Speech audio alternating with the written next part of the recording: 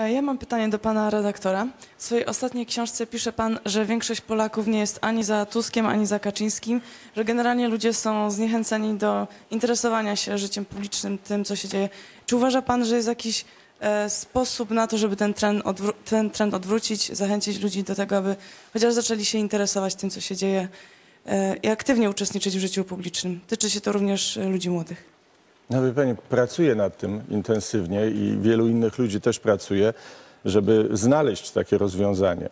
E, praca polega na tym, żeby znaleźć przyczynę. No, moim zdaniem to jest, przepraszam, jeżeli ktoś z Państwa czytał, bo wiem, że to jest jak refren się powtarza w mojej publicystyce, ale wszystkie problemy, które mamy, są typowymi problemami państwa postkolonialnego. Naprawdę, jak się porównamy z Indiami, z krajami południowej Ameryki, to widzimy te same mechanizmy.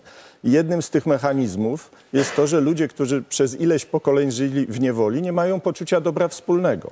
I to tak naprawdę, że to, co pani cytuje za mną, ale przecież to można spojrzeć w jakiekolwiek badanie. No 70% Polaków pytany, y, jaka partia reprezentuje ich, powiadają żadna.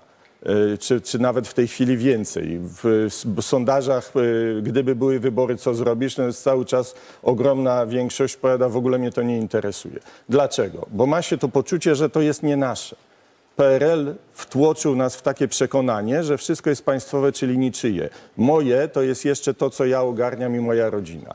Jak to jeden gość, y, taki korespondent zagraniczny pisał, że co jest najbardziej charakterystyczne w Polsce, on był w latach 70., że Polacy mają piękne mieszkania, ładnie urządzone, czyściutkie, a wychodzi się z tego mieszkania i klatka schodowa to już jest syf jeden wielki po prostu, a dalej ogródki, podwórko, prawda, ulica, wszystko jest śmieć.